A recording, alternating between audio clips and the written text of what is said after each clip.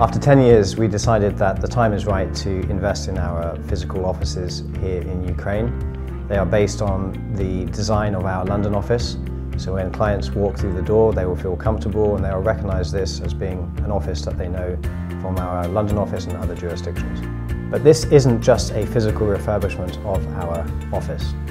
This is a commitment to our clients. This is a commitment to the potential that we see in Ukraine as a country. And this is a commitment to our lawyers and staff and a sign that we are here to stay.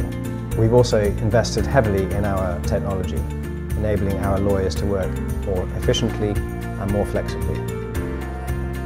We've also thought a lot about how to make this just a nice and comfortable place to be. We all spend a lot of time working and it's really important that our lawyers and staff and our clients feel comfortable in the space that they have.